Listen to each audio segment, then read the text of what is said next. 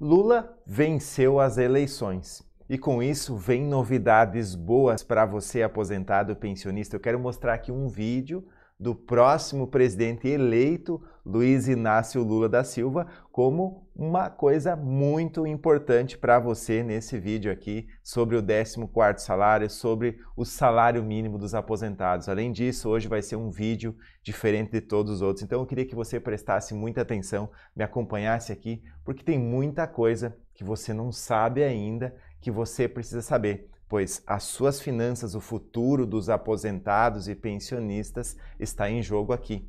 E se isso é importante para você, eu queria convidar você a uma conversa, a uma verdadeira reflexão com fatos, com números, que eu vou demonstrar para você que as coisas vão mudar. Por quê? Para positivo, para melhor? Se segura para você entender, para você saber, porque eu estou acompanhando aqui como embaixador dos aposentados e pensionistas, para quem não me conhece ainda, o meu nome é João Adolfo de Souza. Na minha jornada, na minha verdadeira peregrinação em nome dos aposentados e pensionistas, eu tenho muitas coisas importantes para conversar com você nesse vídeo de hoje. Eu que já acompanhei essa jornada de várias vitórias em seu nome, em nome da sua família também, eu tenho coisas importantíssimas para conversar com você. O Luiz Inácio Lula da Silva, sim, o Lula ganhou as eleições, democraticamente. E agora eu preciso informar você quais são os benefícios, o que é que vem por aí, o que está acontecendo, o que vai acontecer na sua vida agora, pois eu já estou muito, muito tempo junto com você e você já conhece, sabe do meu trabalho. Eu vou começar a explicar a partir de agora detalhes sobre o benefício que você ainda não sabia, detalhes sobre o aumento de salário. Eu quero mostrar em vídeo aqui o próprio próximo presidente eleito aí, o Lula, falando em nome de aposentados e pensionistas do que é que vem por aí. Além, muito além do salário mínimo que você vai ver, você vai entender ainda mais sobre o 14º salário. Eu quero conversar com você e eu queria pedir para você colocar aí no comentário a sua cidade, a sua região, o nosso telão virtual aqui vai aparecer, inclusive vai estar tá fixado o link aqui para você ser membro desse canal. Em breve nós já vamos fixar aqui, porque os membros desse canal terão uma grande exclusividade aqui, que vai ser acesso a prêmios em dinheiro também. Agora vamos conversar, só para você entender ainda melhor a situação. O Lula venceu as eleições e eu quero começar falando, antes de falar do salário mínimo, antes de falar do 14, antes de mostrar para você o vídeo do próprio próximo presidente Lula, eu quero que você entenda uma coisa quando estávamos na luta do 14º salário, que você acompanhou a minha ida até Brasília, e eu lembro como se fosse hoje. A primeira vez que eu fui, era um dia muito quente, era um sol gigantescamente quente aqui para o Rio Grande do Sul. Me desloquei e fiz mais de 300 quilômetros para chegar em Porto Alegre, que era o aeroporto mais próximo aqui para mim até Brasília. Quando eu cheguei em Brasília, eu sabia que eu tinha uma luta grande em nome dos aposentados. Eu teria que bater na porta de vários gabinetes, de vários deputados para ser atendido. Pois se você já tentou entrar em contato com o deputado, você sabe que a acessibilidade para conversar com eles não é fácil. E batendo de porta em porta, eu fui muito bem recebido por vários deputados. E curiosamente, a maioria deles que me recebeu muito bem e de braços abertos foram os deputados do PT, o Partido dos Trabalhadores, que me deram essa oportunidade de conversar em nome dos aposentados e pensionistas, aceitaram e acataram a ideia do 14º salário. Eu tenho o nome de todos eles aqui no canal, de como eu fui recebido, o que foi falado do 14º salário, e eu quero relembrar ainda melhor para você, antes de contextualizar essa história de quando eu estava lá nos bastidores ao qual você não tem acesso às informações, muitas das vezes como funciona tudo lá dentro, quando eu estava lá, o início dessa jornada do 14º salário, quando foi uma ideia legislativa, que é uma ideia popular, uma ideia criada pelas pessoas, quem acatou depois que passou dos 20 mil votos, para você que não sabe, a ideia legislativa ela precisa passar de 20 mil votos. Depois que passa dos 20 mil votos, é que se torna um projeto de lei. Quem foi o senador e de qual partido que abraçou e tornou o projeto do 14º salário real. Você lembra? Coloca aqui no comentário. Eu vou começar, as coisas vão começar a mudar aqui. Então se segura nesse vídeo que você que estava triste, não estava feliz, eu vou mostrar que é uma grande virada de jogo, só que você precisa entender, pois é o seu futuro, as suas finanças, as finanças da sua família que vão poder mudar agora, se você entender o que eu estou te falando. E eu estive lá dentro em Brasília. Quem vos está falando aqui não é uma pessoa que está aqui sempre parada, atrás de uma câmera, simplesmente trazendo notícias. Eu saio daqui do interior do Rio Grande do Sul e vou buscar as novidades. Portanto, preste atenção nesse vídeo quem foi o senador que tornou como projeto de lei o 14º salário. Eu quero saber, ó, aqui já acertou, eu quero dar os parabéns aqui para o Juarez. O Juarez Lucema foi o primeiro que acertou aqui, tá? Agora prestem mais atenção ainda. Quando eu cheguei lá na Câmara dos Deputados, esse mesmo senador que soube que eu estava lá em Brasília, que atravessei o Brasil para lutar pelos aposentados e pensionistas, o primeiro o primeiro que me ligou para mim ir lá conversar com ele foi o senador Paulo Paim, que é do PT, lado de Lula. Ele me chamou lá e disse: João, nós temos que mudar essa política, pois do jeito que está, não vai ser pago o 14 salário. O próprio Paulo Paim me ligou, me recebeu, me atendeu lá e aí a gente começou a mudar o jogo. Começamos a pressionar o governo, a pressionar o governo. Só que engraçado, e você não é mais gato novo, você já entende um pouco mais de política, que o projeto que era de um senador do PT, do 14º salário, não andava. Ficava trancado, ficava estagnado, não ia para frente. E algo estava estranho pois a pressão que você estava fazendo, a pressão nas redes sociais com milhares e milhares de pessoas assistindo o meu canal, ligando para a Câmara dos Deputados, ligando para os senadores pedindo para dar andamento e você acompanha, você sabe que isso é uma verdade, o projeto que era do PT ficava parado, pois era um projeto da oposição. Só que uma remada, uma virada de jogo aconteceu quando outro deputado que também nós entramos em contato, e eu não faço nada sozinho, quero mandar um abraço para o Sandro, para o Milton, para o Felipe, que estávamos juntos lá em Brasília lutando. Nós falamos com esse deputado, Pompeu de Matos, e também foi criado um projeto de lei. Só que aí, interessante que logo que foi criado esse projeto, deu a mesma pressão popular de algo que não era do PT, o projeto andou. E qual seria a explicação para tudo isso? Eu quero que você preste mais atenção ainda, porque eu vou mostrar um vídeo que vai surpreender você se você acompanhar esse vídeo até o final. Aí o que é que aconteceu? O projeto de lei do Pompeu de Matos. Muito além de ele ter dado uma agilidade mais rápida, ele foi aprovado com mais facilidade. Chegou na Comissão de Seguridade Social e Família, e eu sei e eu vi porque eu estava lá, aprovou com unanimidade. Só que também tinha um problema, e a gente não é gato novo aqui, a gente sabe que era uma ousadia ou acreditar em Papai Noel dizer que iria pagar um 14 salário com o topo do salário mínimo, pagar naquela época mais de 6 mil reais e não seria justo. E você sabe e eu sei disso. Inclusive, quando foi aprovado na Comissão de Seguridade Social e Família, foi apontado e foi dito que não podemos aprovamos, mas sabemos que não poderemos pagar um 14 com o topo do salário.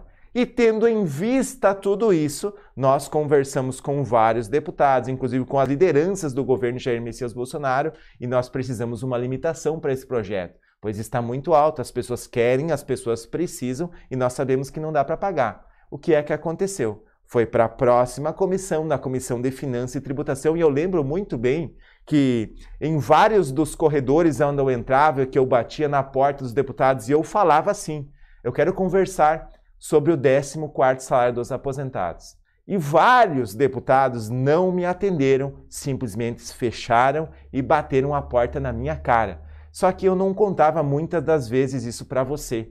E sim, praticamente fui humilhado, e estava muito cansado naquele dia. Eu lembro que quem estava junto comigo, da minha equipe, Lucas também, foi lá e nós estávamos verdadeiramente sentados nos corredores, cansados de bater pernas e bater nas portas e não ser recebidos por vários deputados.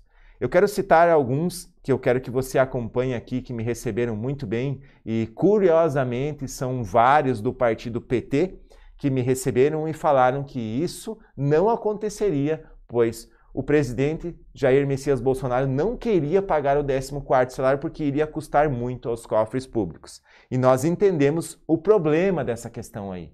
Só que não desistimos fácil. Você me conhece e sabe aqui do canal, eu vou chegar e vou mostrar um vídeo do Lula aqui para você. Então se segura. Você me conhece, sabe que eu dou-lhe pau e não quero nem saber. Comecei a bater ainda mais nas mesmas portas que eu não fui recebido. E eu disse: Você não irá me receber, mas as coisas irão mudar e no futuro próximo eu lembrarei de você. E agora, em vários deputados que inclusive nem se reelegeram, as respostas já foram dadas automaticamente. E você sabe do que eu estou falando. E agora, como eu conversei agora há poucos dias com outros deputados que inclusive já estão reeleitos e me disseram assim: João, agora nós viramos o jogo, agora a coisa vai mudar.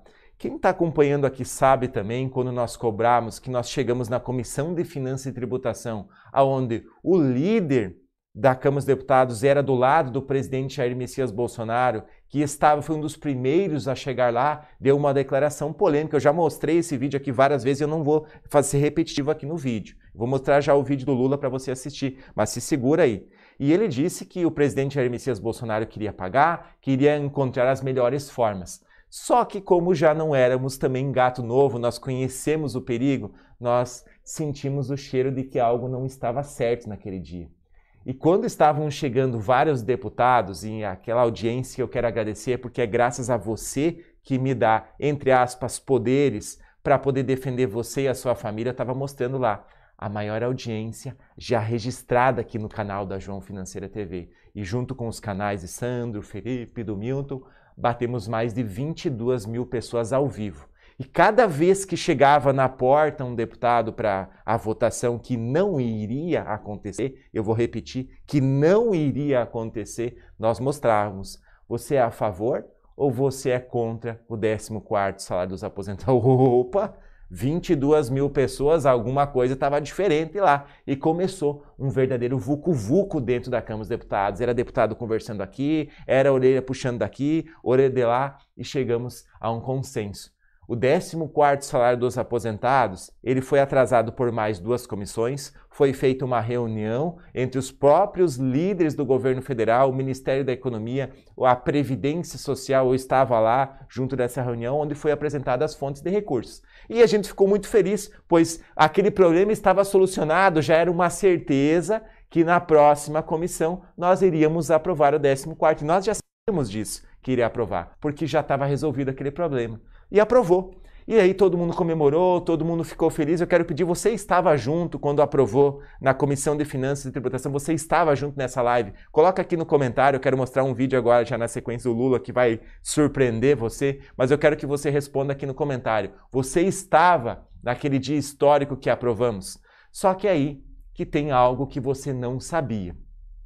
Quando passou para a próxima comissão, depois que todos nós comemoramos, eu quero dar os parabéns que você estava junto aí nessa transmissão e acompanhou tudo isso, nós comemoramos. Chegou na CFT, na Comissão de Finanças e Tributação. Aí que nós não esperávamos que aquilo ia acontecer, pois o projeto desapareceu. Nós íamos em vários lugares da Câmara dos Deputados, pois ainda estávamos em Brasília e simplesmente o projeto tinha desaparecido. Não estava nem na Comissão de Finanças e Tributação, e nem na CCJ, onde a ex-presidente era Bia Kiss. Então alguma coisa estava estranha, alguma coisa estava diferente daquelas duas comissões. Isso me chamou a atenção, isso chamou a atenção das pessoas, tanto que eu fiz vídeo cobrando. Vamos cobrar aonde está esse 14º salário. É o que, que aconteceu? Veio o presidente da Câmara dos Deputados, Arthur Lira, e fez, entre aspas, um checkmate. Ele disse assim: Nós teremos que passar por mais comissões especiais, o 14 salário, para que a gente consiga a aprovação. E nos surpreendeu muito aquilo, pois foi, entre aspas, jogar de lado para os aposentados, pois que agora teria que passar por mais comissões. Só que a virada de jogo agora, Lula venceu as eleições, deu a declaração em vídeo que eu vou mostrar agora aqui para você E eu queria que você, antes de assistir, que você que está preparado aí agora, se prepara, eu vou trazer um vídeo para você. Você fizesse uma coisa que é muito simples. Em nome aqui dos emba do embaixador dos aposentados para você, a minha luta segue a mesma e ainda mais forte, pois a cada dia eu estou ainda melhor por você, pois quem conhece o João ontem, amanhã já não conhece mais. Pois todos os dias eu me atualizo, todos os dias eu me esforço para trazer recursos e benefícios para você, ensinar mais sobre as suas finanças para você não depender mais do sistema financeiro que quer que você dependa cada vez mais dele. O banco quer que cada vez você pegue mais empréstimo consignado, mais empréstimo consignado, mais empréstimo pessoal, para cada vez você depender mais dele. Só que eu estou aqui para mudar esse jogo. Como embaixador dos aposentados, eu quero ensinar você sobre as suas finanças, ensinar você sobre os benefícios e nós podemos virar esse jogo.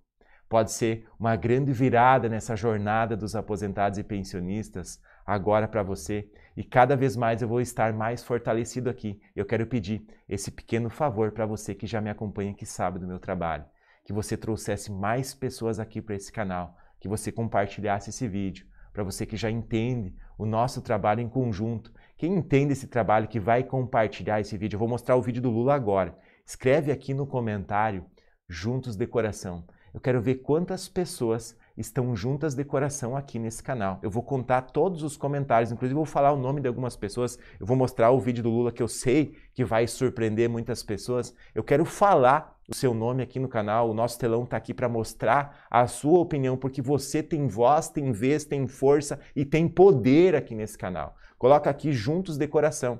Eu vou mostrar o vídeo do Lula aqui. E agora começa uma nova jornada. Antes de eu mostrar o vídeo, eu quero falar alguns nomes a Machado Alves, está aqui a Rosa, a Rosária, a Rosane Monteiro, a Eliane, a Elisete, a Marli, a Vera, tem muita gente juntos de coração. E quem está junto, quem está junto de coração, não foge à luta. Nós lutamos com ainda mais força e parabéns para você que está junto de coração. Segue o vídeo do Lula e eu vou voltar aqui para falar com você. Olha só. Eu tenho na minha cabeça de que o sucesso do nosso governo não foi apenas uma causa. São múltiplas ações que nós tivemos e uma delas, que é a mais eficaz, é o aumento do salário mínimo. Ou seja, nós decidimos que a gente iria aumentar o salário mínimo todo ano com base. Primeiro, reajustar a inflação. Segundo, com base no crescimento do PIB dos últimos dois anos, você daria aumento real para o trabalhador. Isso possibilitou que nós conseguíssemos aumentar o salário mínimo em 74%. O que é maravilhoso a gente dizer é que não teve inflação por conta disso. E nós precisamos ter consciência que o salário mínimo de R$ 1.200 é muito pouco, gente, é muito pouco. É importante que você que está me ouvindo saiba o seguinte: nós vamos continuar aumentando o salário mínimo. E nós vamos provar que isso não quebra a economia, que isso não traz a inflação de volta. Nós vamos provar que melhora a vida do povo. Ah, na hora que a pessoa puder tomar um café a mais na padaria, comer um pãozinho a mais, ele vai ser obrigado, o padeiro vai ser obrigado a contratar mais um padeiro. Aí o padeiro que foi contratado vai ter mais um salário, ele vai virar um outro consumidor. Aí vai ter que comprar uma nova máquina, vai fazer com a fábrica, a fábrica vai gerar mais emprego e vai pagar mais um salário que vai gerar mais consumo, que vai gerar mais emprego. Olha que maravilha! Olha que coisa maravilhosa, todo mundo podendo trabalhar, todo mundo podendo ganhar, todo mundo podendo participar do crescimento econômico do país. Se o PIB cresce, cresce o salário mínimo. Porque não adianta nada o PIB crescer e não distribuir. O PIB é o crescimento da riqueza do país, é tudo aquilo que o Brasil produziu de riqueza. Então, quando você vê no jornal o PIB cresceu 5%, você tem que saber se foi distribuído esse 5% para o povo. Porque se não foi distribuído, só alguns ganharam e o povo continuou pobre. Por isso é que nós queremos vincular o aumento do salário mínimo ao PIB. O dia em que a gente vai voltar a sorrir está próximo. E eu sei que é você que será o responsável por isso. Lula presidente, o Brasil da esperança. Se você que assistiu esse vídeo é dono do seu próprio destino e quer fazer a diferença por você, junto comigo aqui, o embaixador dos aposentados, aperta o botão do like, porque isso significa que você está junto de coração.